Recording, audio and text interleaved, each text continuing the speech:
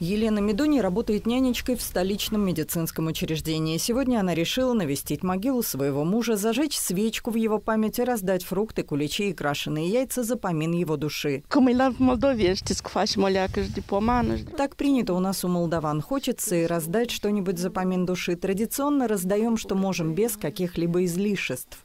Елена рассказывает, коронавирусом заболела осенью прошлого года, госпитализировали, болезнь протекала тяжело, последствия ощущаются до сих пор. Поэтому решение властей закрыть столичные кладбища на время пасхальных праздников Елена считает не просто правильным, но и необходимым.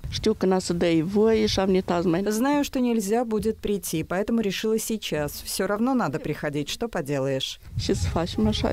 И Лариса Райлян считает, что внимание усопшим уделять нужно, но важно не переусердствовать. Так надо, так положено. Я не знаю, нету, по-моему, где еще, как не в Молдове, вот так вот делают вот такие вот застолья, вплоть до того, что, извините меня, и шашлыки делают на кладбище, и это все. Зачем это надо? Кладбище есть кладбище, это их место здесь, и здесь должен быть покой и тишина. Поманы можно давать, и очень много нуждающих даже в каждом доме есть, которые голодают пенсионеры, и можно принести супчики, там калачики, что-то это самое. Я считаю, что это будет больше даже принято, чем здесь мы такое устраиваем в этом день. Вы видели, что творится. А эта женщина приехала из Приднестровья на могилу своего старшего брата. Говорит, в прошлом году не получилось из-за жестких ограничений, а в этом году рада, что доехала до Кишинева. А сегодня, спасибо, нас пропустили, все, мы очень довольны.